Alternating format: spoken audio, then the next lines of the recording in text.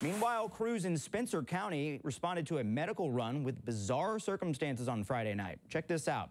Luce Fire Department says they responded to the Sandridge area in Spencer County on Friday.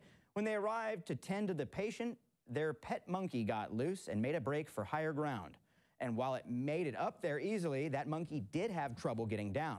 Fire crews say they used their rescue training to get him down without harm, and that thankfully the monkey was kept safe while EMS tended to the owner.